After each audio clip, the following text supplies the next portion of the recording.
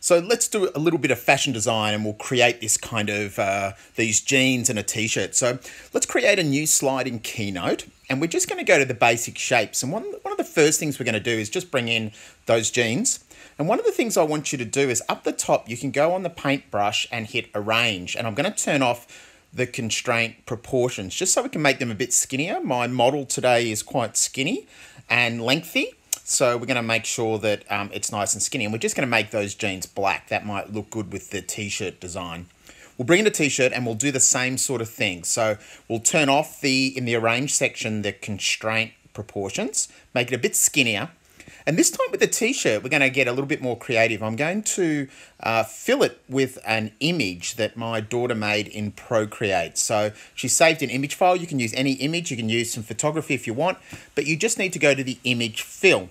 And I'm going to fill it with this image that Rach created, and I'll go to scale to fill.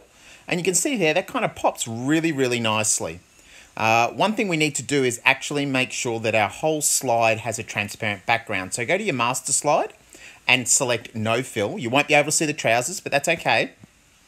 And then we're going to export that at the three dots as an image file. Please make sure that you select the PNG export option. That will make sure we get rid of kind of all the background and all the yuckiness of it.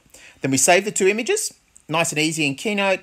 And then we jump into ARMakr, the app that's for iPad only at the moment, and set up a person or set up a little doll or something there, scan your surroundings, load up your design, and place as accurately as you can. You might need to do a little bit of fiddling, obviously, with the length and so forth.